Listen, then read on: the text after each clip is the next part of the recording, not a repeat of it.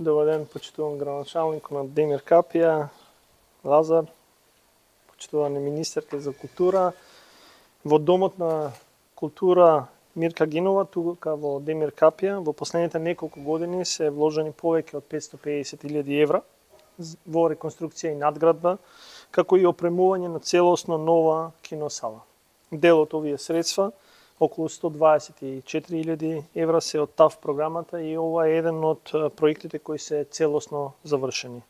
Проектите од ТАВ се реализираат на сите општини на државата.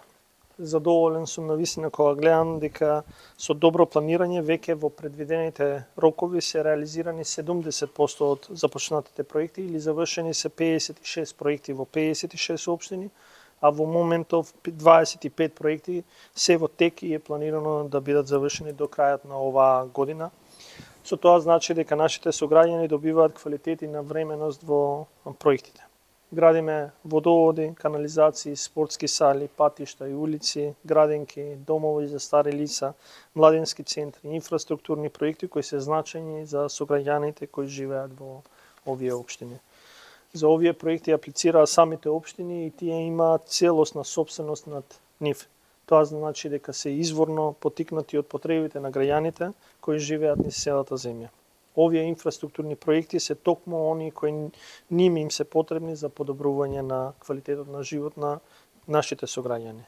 И затоа сметам дека овие инфраструктурни проекти се за сите граѓани низ целата држава без никој да биде изоставен. Благодарам. Добар ден. На мое задоволство, денеска заедно со вице-премиерот за економски прашања, координација со економските ресори и инвестиции Фатмир Битики, сме во работна посета на општина Демир Капија, каде имаме можност да направиме увид на реновираниот објект на Домот на културата Мирка Гинова. Преку овој целосно нов современ објект, конечно се обезбедени квалитетни услови за работа на културните работници, за креирање нови проекти, а граѓаните добиваат мултифункционален објект со најсовремена употреба. Убедена сум дека на овој начин ќе се зголеми културната понуда за граѓаните на Демир Капија, а се разбира дополнително ќе се развие и се вкупниот потенцијал во овој дел од државата.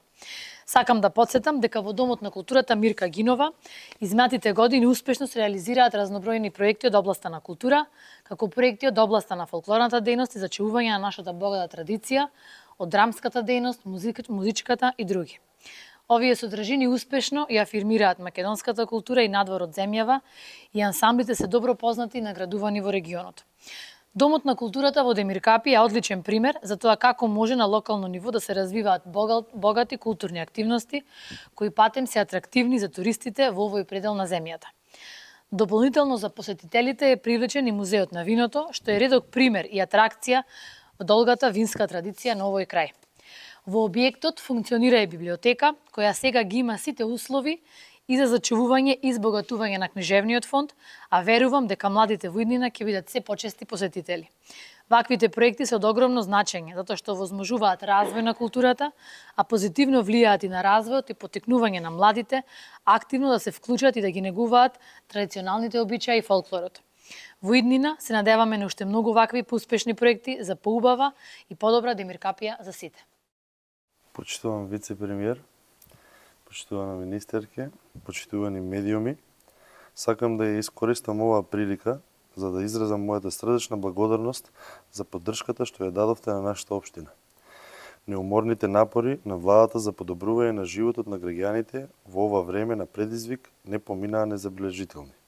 Помошта што ја дадовте за реконструкција и надградба на Домот на културата во Демир Капија помогна да се олесни товарот со кој се соочуваат многумина. Домот на културата е повеќе од обична зграда. Тоа е символ на нашето наследство, традиции и вредности. Тоа е место каде што, каде што се собираме за да славиме нашата историја, да одбележиме важни пресвртници и да создаваме нови, нови спомени.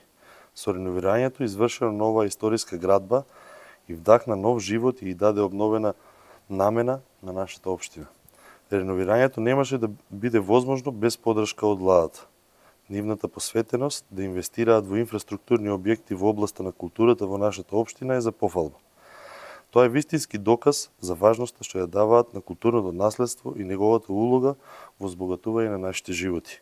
Уште еднаш ви благодариме за вашата неколеблива посветеност да ја служите на заедницата. Вашата подршка направи значителни разлики во животите на многумина и ние сме ви вечно благодарни.